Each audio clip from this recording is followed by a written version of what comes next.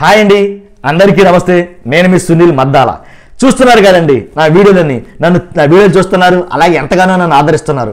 కొన్ని లక్షల మంది అయితే కనుక నేను చేస్తున్నటువంటి వీడియోలు చూస్తున్నారు. అందు గురించి నేను మరింత మీకు ధన్యవాదాలు తెలియజేస్తున్నాను అలాగే నాకు రిక్వెస్ట్ ఉందండి.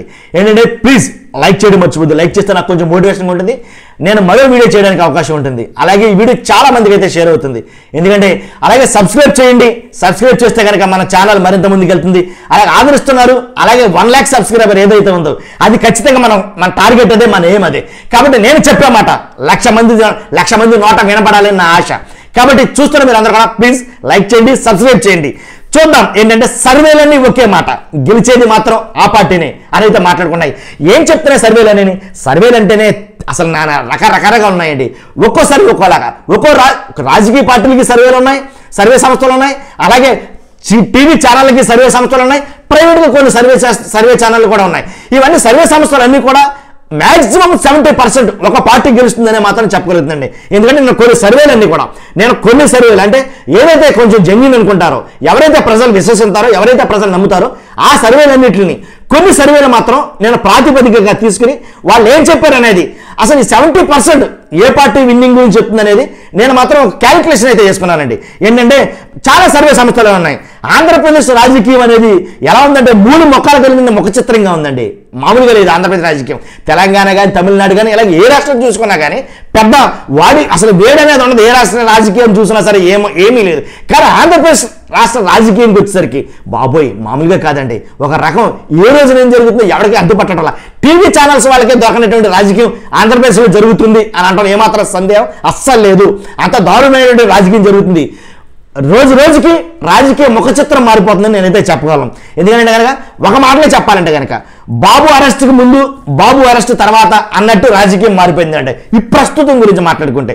కాబట్టి కొన్ని ఛానల్ ఏదైతే ఉన్నాయో రైస్ సర్వే కానీ అలాగే మహాశక్తి సర్వే సర్వే సంస్థ కానీ ఇండియా టీవీ కానీ ఏంటి సిఎన్ఎస్ఎక్స్ కానీ ఐపాక్ కానీ ఇలా కొన్ని సర్వేలు అయితే సంస్థలు అయితే ఉన్నాయండి. ఈ సర్వే సంస్థలన్నీ కూడాను దేన్ని ఆధారం చేసుకుని ఇప్పుడు మారేయంటే ఇంతకు ముందు చేసినటువంటి సర్వేలన్నీ ఒక ఎత్తు. బాబు అరెస్ట్ చంద్రబాబు నాయుడు తర్వాత అరెస్ట్ జరిగినటువంటి సర్వేలు అనేవి ఒక ఎత్తండి. చాలామంది చాలా మంది గమనించట్లా. ఎందుకంటే పాత సర్వేల్ని ప్రాతిపదికగా తీసుకుంటున్నారు. జగన్ గారికే నిజంగా మా అన్న చెప్పాలంటే కనుక ముఖ్యమంత్రి గారికే ముచ్చమట్ల పట్టిస్తున్నాయి ఈ సర్వేలు. ఎస్ కాబట్టి ఇలాంటి సర్వేలు ఏం చెప్తున్నారంటే seventy percent. Babu Chandrababu arrest తర్వాత బీభత్సంగా పెరిగింది టీడీపీ గ్రాఫ్ అనేది కనుక చెప్తున్నాయండి. ఇదే నేను చెప్పబోయేది కాబట్టి చంద్రబాబు నాయుడు ఏ అరెస్ట్ చేయడంతో అమాంతంగా పెరిగింది టీడీపీ గ్రాప్ అనేది. నిజమండి ఏదైతే అరెస్ట్ చేస్తారో ప్రముఖ నాయకుడు పేరున్న నాయకుడు అరెస్ట్ అయితే జరిగిందో జైల్లో పెడతారో ఆటోమేటిక్గా సింపతి పెరిగిపోతుంది. సానుభూతి లక్షల మీద పెరిగింది. సానుభూతి. ఆ సానుభూతి మొత్తం కూడా ఓటర్లుగా మారబోతున్నాయి. ఓట్లుగా మారబోతున్నాయి. అదే సర్వే సంస్థలు వెల్లడి చేస్తున్నాయి. కాబట్టి హండ్రెడ్ పర్సెంట్ అసలు ఆ చంద్రబాబు నాయుడు అరెస్ట్ చేయడం తప్పు. దానివల్ల ఏంటంటే మూట కట్టుకున్నది వైసీపీ ప్రభుత్వం మూట కట్టుకుంది ఏంటంటే కనుక ఓటమి.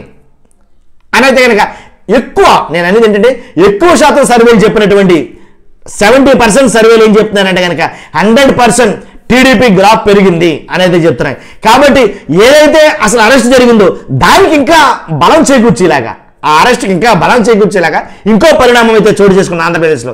అసలు మూడు రాజకీయ పార్టీలు మూడు మూడు విధానాలు మూ- మూడు ముఖాలు కలిగి ఉంటుంది ఆంధ్రప్రదేశ్ రాజకీయం అని అనుకున్నది. తారుమారైపోయి ఏంటంటే ఏదైతే తెలుగుదేశం ఉందో జనసేన ఉందో చంద్రబాబు నాయుడు అరెస్ట్ తర్వాత ఒకే ఒకటిగా పొత్తులోకి వెళ్ళడం అంటే కలిసిపోవడం ఆ రెండు పార్టీలు కలిసి ఒకే వేదికను పంచుకోవడం ఆ రెండు పార్టీలు కలిసి ఎన్నికలకు వెళ్ళటం ఇది ఏదైతే జరిగిందో మహా విపత్ అసలు ఎలా అంటే అది చెప్పుకోవడానికి రాజకీయాలను టర్న్ చేసిన పాయింట్ అనమాట కాబట్టి వీళ్ళిద్దరు ఎప్పుడైతే కలిసారో ఆటోమేటిక్గా రెండు పార్టీలు ఏకమైతే చాలా బలం పెరుగుతుందండి.